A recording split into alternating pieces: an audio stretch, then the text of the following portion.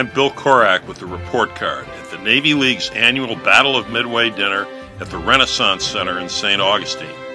The winners of the Francesca Stencil Korak Midway Essay Prize are here to meet the veterans of the legendary battle they just wrote about. Later tonight, they'll receive their awards by Admiral Ferguson, Vice Chief of Naval Operations.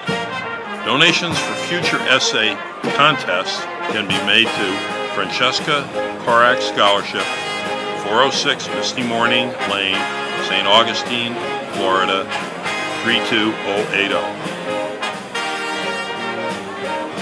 Could you recap your experiences at the Battle of Midway for me? I went there in January of 42. Stayed 17 months on the island. There's Midway Islands are made up of two islands Eastern Island and Sand Island. Yep. Sand Island is where the runways are. And uh, we made preparation to be invaded or taken. Right. Admiral Nimitz would advise us every day what was going on. And he was getting information from Japan.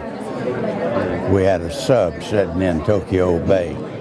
Wow. And uh, wow then when they started out, then part of them went to the Aleutians, the others come our right, way, and there was a code that they broke that definitely said they were going to take Midway.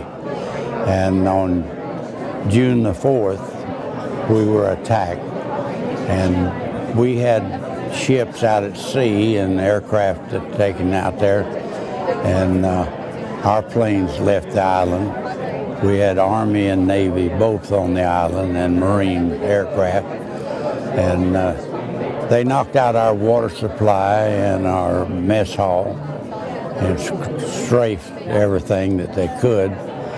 And uh, some of the planes would come in and would indicate that they had a gunner that was out dead and they would land and then somebody else would take its place and several of the planes came and were shot down on the island and they took a bulldozer and buried the Japanese and then first thing you know somebody began to dig them up and take the watches off and their rings and so forth. And uh, but the main battle was out at sea but we, we took a pretty good beating that day but, so um what what did it feel like be, being stuck on the island and not knowing whether they were going to land an attack or not? Well, it was your duty, and of course, I was a young fellow, 17 years old. So felt bulletproof. Gung ho, you know. you think you could whip anybody. so it's. Here we go, face camera. Yeah. But uh, as the old saying is, I'm glad it's over and went through it, but I wouldn't want to go back through it. definitely, definitely. So, what did you do for uh, the rest of World War II?